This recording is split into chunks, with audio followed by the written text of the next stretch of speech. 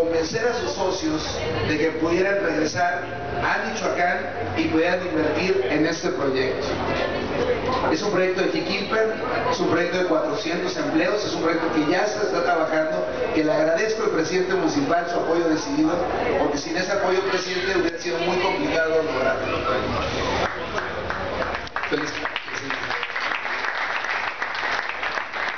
Y en ese sentido, la pregunta que yo le hice a nuestro compatriota michoacano fue el por qué regresar a Michoacán a invertir tanta cantidad de dinero, generar tantos empleos, y decía que porque en Michoacán no hay dos, y en ese sentido tenía toda la razón.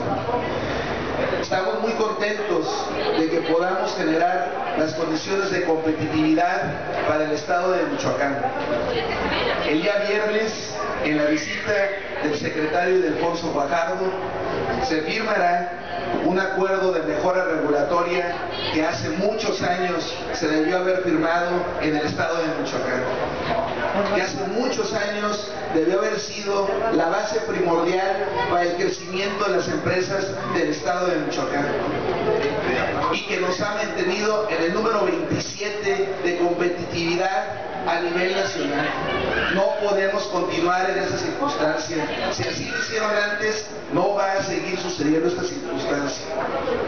Secretaría de Desarrollo Económico está convencida de que debemos de generar las leyes necesarias para poder sacar adelante nuestro estado de Michoacán. De buenas voluntades, pocas veces se adelanta en competitividad.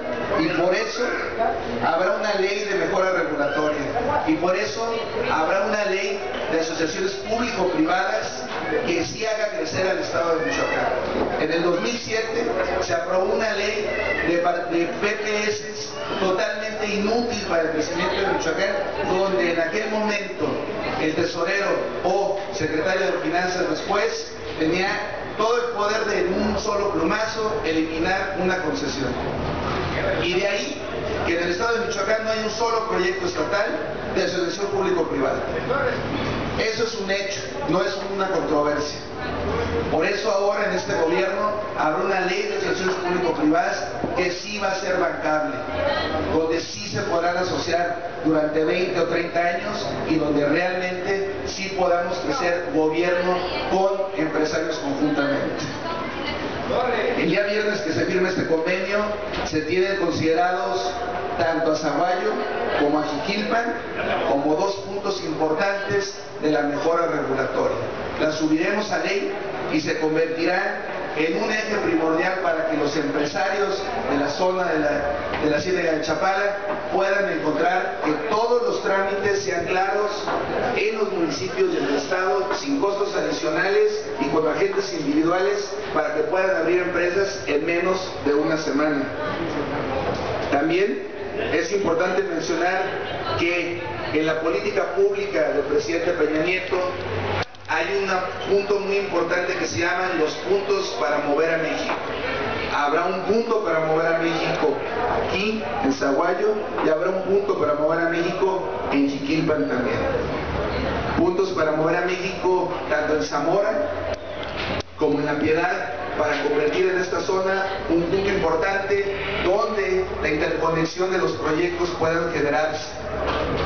Asimismo, trabajaremos directamente con esos puntos para mover a México para que los proyectos de cada uno de ustedes que quieran realizar, en su momento nos platicaba Rodrigo de, de una empresa que quiera generar el aceite, bueno, para realizar los proyectos ejecutivos vamos a tener incubadoras que puedan generar esos proyectos ejecutivos aquí mismo en Zaguay, sin necesidad de ir a Morelia o ir a cualquier lugar, aquí mismo que se generen esos planes de negocio y esos proyectos productivos donde les puedan dar la asesoría total a todos ustedes.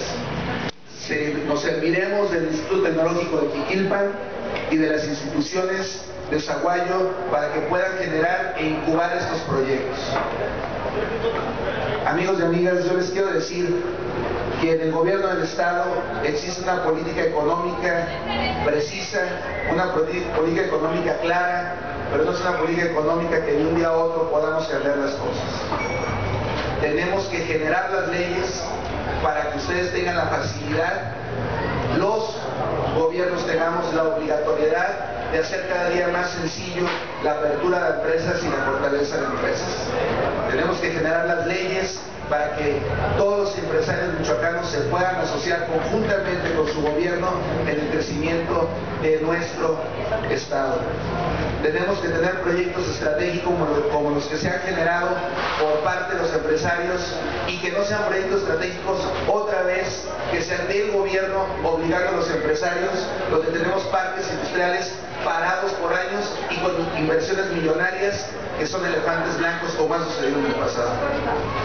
Yo les agradezco a todos ustedes el apoyo que hemos tenido como gobierno y les pido que sigan trayendo sus proyectos, que sigan trayendo esas inversiones que quieren generar en Michoacán, porque en este gobierno encontrarán las facilidades necesarias.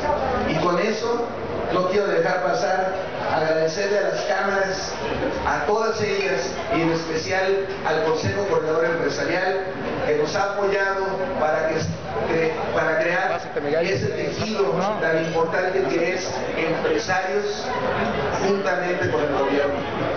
El foro ya lo han platicado, que es este 16 de julio, no es un foro pequeño, es un foro donde queremos invitar a todas las instituciones, a todos los empresarios, pero sobre todo recordemos que más del 90% de las empresas en Michoacán son pequeñas y medianas empresas. Así que cuando los grandes empresarios en algún punto dicen que es necesario llevar algún tipo de economía en Michoacán y de políticas económicas, recordemos que son las cámaras, los tejidos que nos dan la fortaleza y el crecimiento desde abajo, desde los empresarios que empiezan como emprendedores. Por eso le quiero agradecer muchísimo a Carlos Gálvez otra vez todo el trabajo que se ha realizado conjuntamente con el gobierno para poder obtener los resultados y que el año pasado en cuatro, en dos de los cuatro fondos más importantes del gobierno federal, Michoacán fue el número uno gracias a los proyectos que los empresarios nos presentaron.